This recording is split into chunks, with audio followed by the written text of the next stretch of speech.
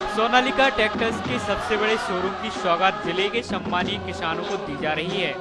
निवेदक Poonam Biren Patel, Sakshi tractors and motors road, Sagar.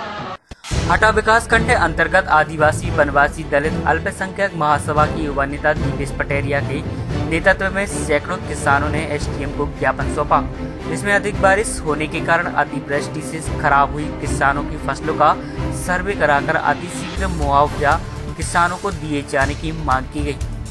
और पूर्व में विक्रय की गई मूंग उड़द की फ़सल की बकाया राशि 15 दिवस में किसानों को भुगतान किए जाने की बात कही गई।